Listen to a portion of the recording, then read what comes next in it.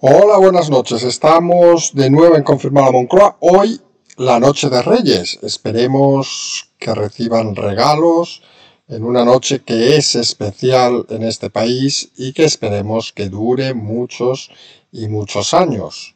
Una noche donde vienen los Reyes Magos. Aquí no vamos a traer hoy más regalo que la información. Y poca información ha habido esta tarde, seamos sinceros. Otros años está monopolizado por el tema de las cabalgatas, hoy hemos dicho cabalgadas, cabalgatas de Reyes y hoy obviamente fuera de una cosa puntual que hemos visto esta tarde en Valencia que nos ha sorprendido. Es decir, mucha gente en la calle delante del ayuntamiento en un acto que sorprende, es decir, una comunidad que está cerrada por tierra, mar y aire y que permite actos como tales. No somos más irresponsables, sinceramente, porque creemos algunos que no se puede, no se puede ser.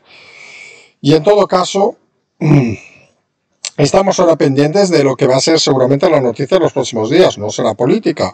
Ya verán cómo los medios se van a volcar en el tema de esta ola de frío que viene, en las nevadas, que dirán que son históricas, que las más importantes de casi 100 años.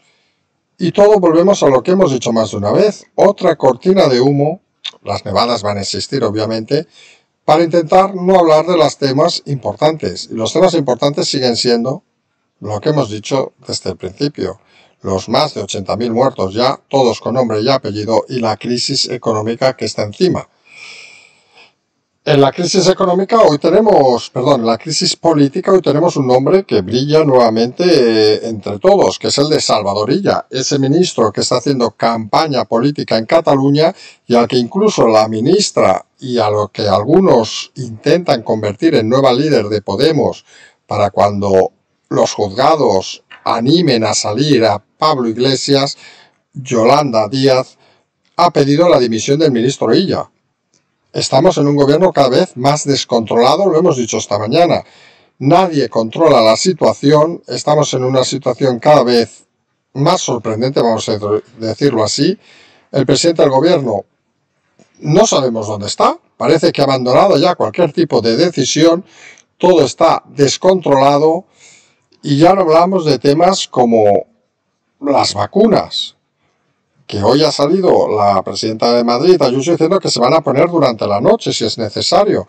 Pues parece lo normal. Si es una solución, no hay horarios para poner tiempo a las soluciones. Es que es algo inaudito. Cuando uno está en la empresa privada, si ha de quedarse unas horas para acabar las cosas por responsabilidad, lo hace. Pues parece que los gobernantes de este país tenían en la mentalidad de que las vacunas se ponen solo en horario laboral. Otra de esas noticias, cuanto menos sorprendentes, que nos llevan un poco a, reconocer que esto no acaba de entenderse. Hoy también la OMS ha indicado que ¿por qué no retrasar unas semanas la segunda toma de las vacunas de Pfizer? Esas que ya se han puesto unas cuantas en España. Y uno se pregunta, ¿es la OMS la que tiene que decidir los periodos de cuándo hay que poner las vacunas? ¿No será quien ha fabricado las vacunas? ¿O es que quien ha fabricado las vacunas no tiene claro ni los periodos donde hay que ponerlas? Todo esto es un galimatías que realmente a veces no, no tiene explicación muy lógica. Todo parece una continua improvisación, ya no solo de este gobierno desaparecido, sino incluso más allá, es decir, de los propios laboratorios farmacéuticos un poco de todos, es decir, es una sensación cuanto menos extraña. Esa sensación que podríamos decir de abandono de la sociedad, mientras los líderes siguen cobrando su sueldo mensual. ¿Por hacer qué? Sinceramente, lo desconocemos. Lo que está claro que vamos hacia una situación que ya hemos dicho en alguna ocasión que vamos a ir a peor, no solo en lo sanitario, hoy se ha confirmado que Alemania amplía hasta finales de mes el cierre del país, un poco siguiendo la estela de Inglaterra, y parece obvio que los reinos de taifas de este país acabarán en el mismo camino. Nadie vaya a dudar de que, como decíamos ayer, un marzo 2.0 se está empezando a fraguar. Estamos delante de una situación que parece que no tiene una solución a corto plazo. Sumemos aparte de que a final de mes algunos creemos que en un segundo confinamiento ya serio y total, se acaban los ERTES. No sé. Yo, por mucho que le echemos imaginación a veces, hay situaciones que nos cuesta entender y nos cuesta incluso visualizar. Porque vamos a poner un ejemplo, cuesta de enero, un mes tradicionalmente complicado para las economías domésticas, luego del gasto de las navidades. Imagínense aquellas economías en ERTE, casi un millón de personas todavía, pues que se les acabe el ERTE. Así de claro, se les acaba el ERTE a final de mes si no hay algún tipo de acuerdo. En medio de un confinamiento. En medio de una situación dantesca con las empresas ahogadas literalmente por el gobierno. Recordemos, en otros países se ha financiado hasta el 70% de la facturación, aquí literalmente se les ha dejado tiradas. Eso sí, mientras tenemos al presidente del gobierno, la última cosa que sabemos de él prácticamente es que ha recurrido esa sentencia de un tribunal donde simplemente pedía transparencia, que pedía que dijera quién había autorizado y a qué personas había autorizado a subir en un avión oficial, según parecen amigos personales del presidente que usan los medios públicos como los aviones del gobierno para sus propias vacaciones. Recordemos que ya ha salido también de que el presidente invita a sus amigos a las casas oficiales y no solo que los invite, que podría ser hasta aceptable, pero que utilice los medios del gobierno para transportarlos a las Canarias en el último verano, pues parece cuanto menos sorprendente.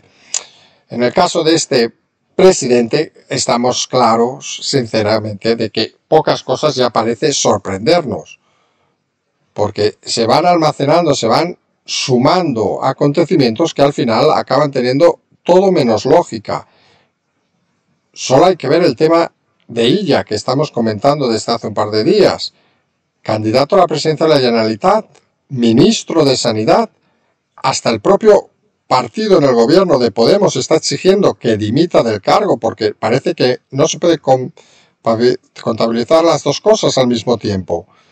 Y el ministro, pues parece que lo sigue queriendo hacer.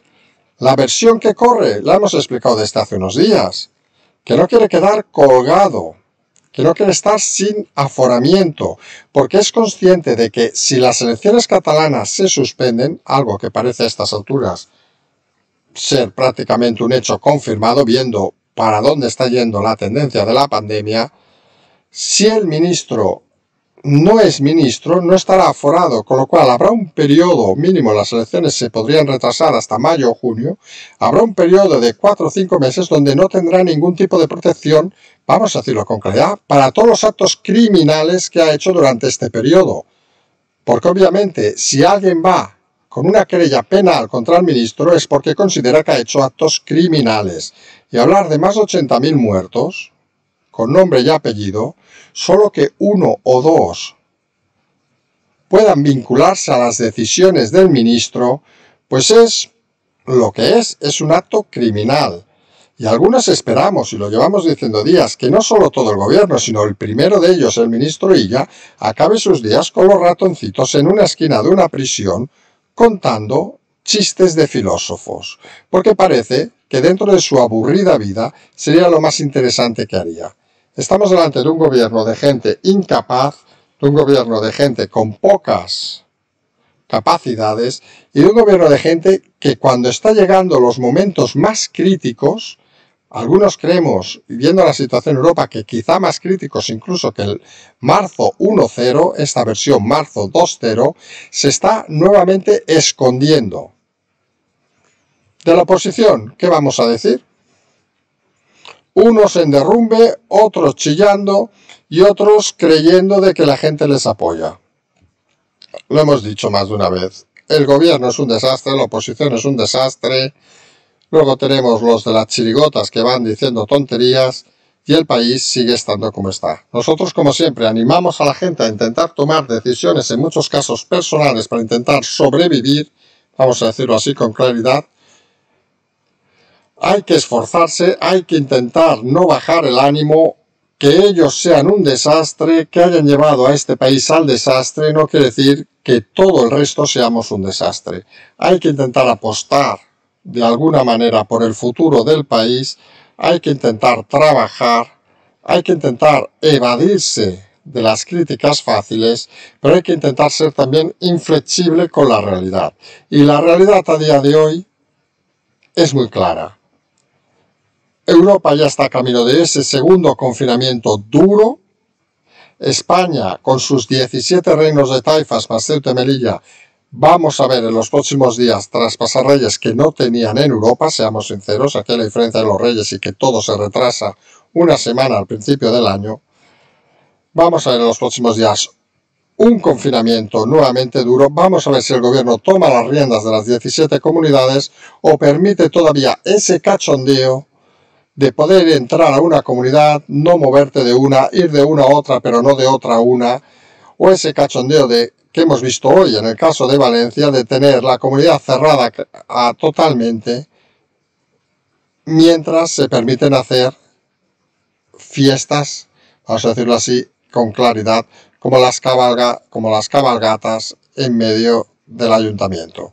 Cosas inauditas, es decir, una, una España de dos velocidades, una España de 17 reinos de taifas, que al final, si siguen el modelo europeo, nos va a llevar a un nuevo y duro confinamiento con un presidente cada vez más débil, vamos a decirlo con claridad, con unos recursos cada vez más escasos y no olvidemos que el 31, salvo que haya algún acuerdo de última hora del que se está hablando de cara a abril, un fin de los ERTES, ese sostén mal creado, mal parido por Nadia Calviño y Yolanda Díaz, que simplemente ha servido para hundir más la economía y destrozar las empresas. Lo hemos dicho esta mañana. El único argumento del gobierno es, digamos, sintáctico. Su obsesión decir que apoyan a los trabajadores, su obsesión no decir que apoyan a las empresas, su incompetencia desconocer que los trabajadores sin empresa no van a ningún lado. Lo que han hecho en otros países de Europa es claro, han apoyado a las empresas para que desde las empresas se mantenga la fuerza de trabajo y los trabajadores. En España hemos optado por el modelo de apoyar a los trabajadores hundiendo a las empresas y eso sinceramente lo que lleva es a paro, destrucción de la economía y que la mayoría de los ERTES acaben en ERES. Lo empezamos a ver en esta complicada cuesta de enero. Sabemos que hoy es la noche de los Reyes Magos, sabemos que no son las mejores noticias que uno quiere oír a estas horas, pero siempre hemos dicho, aquí intentamos explicar las cosas como son. Aquí no vamos a irnos con formalismos ni con cosas que realmente no creemos que estén en el camino. Hace meses lo vamos comentando, el gobierno cada vez está más débil, el gobierno cada vez está más encerrado en sí mismo, el gobierno sigue mirándose un espejo, sigue viviendo de esos medios de comunicación que simplemente están para chupar y aclamarles, y el camino hacia la destrucción parece cada vez más cercano. Lo que hay que hacer, lo hemos dicho más de una ocasión, cada uno es responsable de lo que piensa, lo que dice, lo que hace, y en ese sentido confiar en que la mala gestión del gobierno no nos lleve a todos por delante y que al final las cosas acabarán siendo de una manera mejor. Hay que mirar hacia adelante con optimismo, aunque sean días difíciles. Vamos de cara a un confinamiento y debemos intentar entre todos hacer, y aunque suene extraño, lo que este gobierno es incapaz de hacer. Al menos intentar tener ánimo y tener un poco la mirada al frente. Que ellos sean un desastre, que ellos sean unos criminales, que ellos deberían acabar en la cárcel todos, no implica que el resto de españoles no seamos gente de buena fe, que intentemos, aunque sea aportar poco a poco, seguir avanzando día a día e incluso sobreviviendo. Nosotros dejamos ya la noche esta de Reyes, les invitamos como siempre a colaborar con nuestro canal. Tienen el Patreon, tienen el canal, tienen la transferencia. Como siempre decimos, aquí no nos comprometemos con nadie, no nos casamos con nadie, informamos y sobre todo lo más fundamental y más en este día es que nosotros, como siempre decimos, seguimos.